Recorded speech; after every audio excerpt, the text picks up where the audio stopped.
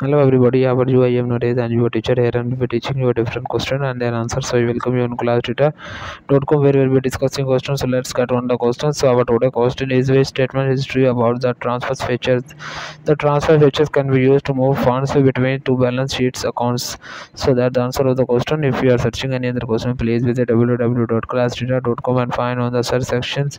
If you have any question to ask, there are now sessions on the right side of the website. Fill the form and we'll be answering you as soon as I can. Thank you for watching this video. Please do not forget to like, share, subscribe our channel. Until next question. Bye bye.